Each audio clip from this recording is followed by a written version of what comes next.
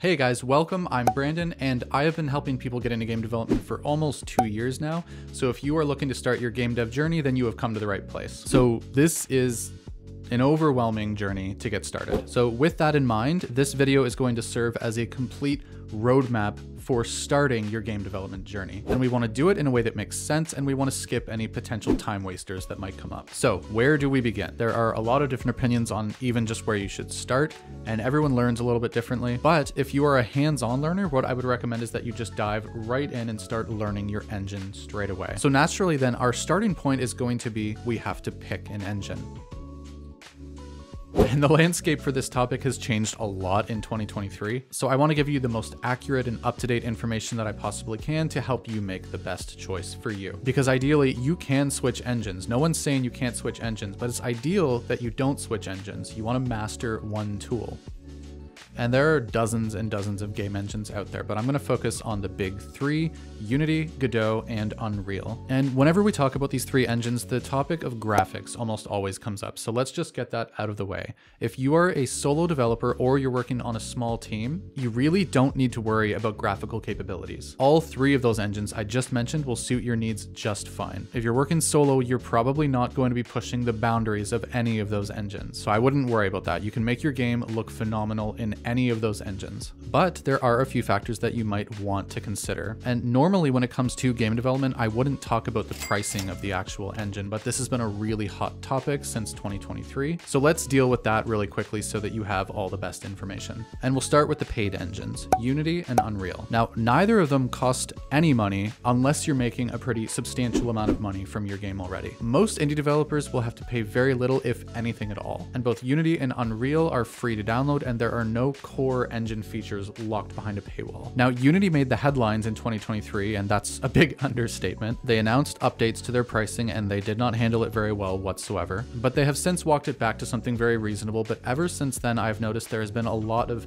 misinformation floating around in terms of what they landed on. So I just want to make sure that you are getting the accurate information that you need. So the next major Unity update is going to be Unity 6. That is when the new pricing will take effect if you update to that version of Unity. So with that new version, here's how the pricing is going to work. If you make more than $200,000 annually with your game, you'll need to upgrade to Unity Pro, which costs about $185 a month. At that point, you will also owe the lesser of 2.5% of your gross revenue or a download fee per install. And again, that's the lesser of. So the very most you're going to be paying is 2.5% revenue on top of your Unity Pro subscription. Again, this is for Unity version 6, which is not out yet. The current pricing for all Unity versions right now, which you can stick with, by the way, if you don't update, is free up to when your game makes $100,000 annually. If your game revenue exceeds $100,000 annually, then you will need to upgrade to Unity Pro. Okay, so that's Unity's pricing. So let's talk about Unreal. Unreal charges 5%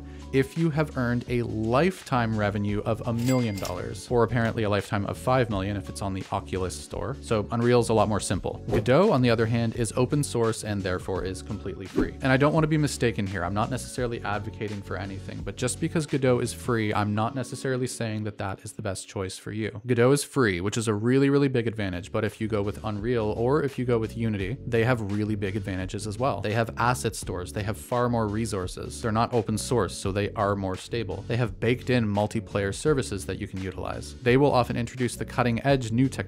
If you want cutting edge new technology, that's the way to go. And in a lot of cases, both of those engines are more performant than Godot is under the hood. And on top of that, if you were looking to get a job in the industry at any point, then learning those two engines would be greatly to your benefit. But with all that being said, Godot is a really, really solid engine. And unless you're wanting to pursue really high end rendering, then Godot is a very popular and very good choice. I personally still use the the Unity engine and I don't have any plans on changing. And if my game makes over $200,000 in a year, then I will happily share 2.5% revenue. But that's just me. So that's pricing. Now, the other thing that you need to consider with these engines is which programming options do they make available to you because each one has a different path that you're going to have to follow. So with Unreal, you will mostly be using Blueprints. Blueprints is a visual, node-based scripting solution. You can write native C++, but most of the resources that you find online are going to be centered around creating Blueprints. So if you're new and you're just opening Unreal, then Blueprints is going to be the easiest thing to learn. With Unity, you have the option of writing C Sharp code or their visual scripting solution, which is now just called Unity Visual Scripting. Their visual scripting is going to be very, very similar to Unreal's Blueprints, but in this scenario, it's a little bit flipped because most of the resources that you'll find online when you're searching for solutions to problems will be written in C Sharp, not using Unity's visual scripting. So again, if you're new and you're just starting out and you choose to use Unity, then you'll have the easiest time getting started if you choose regular C Sharp scripting. With Godot, based on my research, it looks like they no longer support visual scripting as of Godot 4, so you'll be writing their own language called GDevelop, which is the one that they recommend. Although it looks like it also supports C Sharp and C++. But again, if you're you're looking at tutorials online and you're trying to learn it, then you're most likely going to run across GDevelop solutions. Personally, if you are brand new and you're looking to just start out, then I would try all three of them. Spend one or two days in each of them and see which one you like the best personally. They all have slightly different feels, so you might find that one of them feels just a little bit more intuitive for you. All right, now let's say you've gone ahead, you've picked your engine, now you're back here. What is next? You need assets to make your games, right? You need sprites if you're working in 2D, or you need models if you're working in 3D. For now, at the beginning stages, what I would recommend is using other people's art. Drawing and modeling are two completely different skill sets outside the scope of what you need to learn with your game engine and now programming as well. If you don't know how to draw or you don't know how to make 3D models, you could learn those things in parallel with learning your engine and programming. But for the sake of getting up and running really quickly, just use art from online right now. You have enough enough to learn in the early stages. Open Game Art is a great resource. I'll put a link for that down below. But when you are actually ready for art, if you're working in 2D, then Photoshop is generally your top choice. But if you're on a budget, Krita is free and open source and is also really great. If you're doing 3D, just download Blender. Use Blender. It is free. All the other choices are very expensive. Okay, but again, for now, if you are in the early stages of just getting started, you're gonna get up and running much more quickly if you just use other people's art assets. Just for learning, not for making your actual game. Don't steal people's stuff. So okay, you have your engine. What do you do now?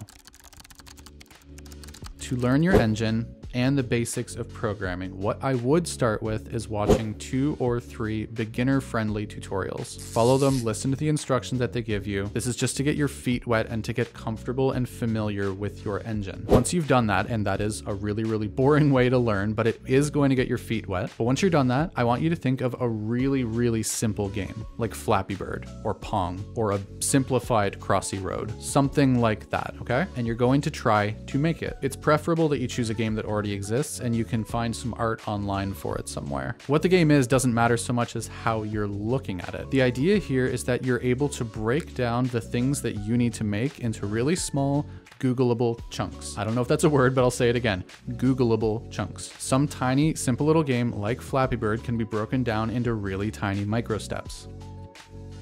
How do I get the bird on the screen? How do I get the pipes spawning in? How do I make him fly every time I click the mouse, etc, etc. Since this is a game that already exists, this is going to simplify things for you because it takes the design out of the equation. It saves you time because you don't have to think up the game rules. You just copy them. Now this exercise, you're going to want to do this several times. And if you want to push yourself even a little bit more so that you learn more quickly, what I would do is add a little twist to the end of each of these micro projects. Doing this is going to help you develop your skills so quickly, but it will also help you stay out of what we call tutorial hell. That is where you are stuck in the learning stages forever and ever, and you never feel like you have enough confidence to actually go out and start something on your own. Okay, so if you have made several micro projects, what do you do next? You're going to want to start participating in game jams.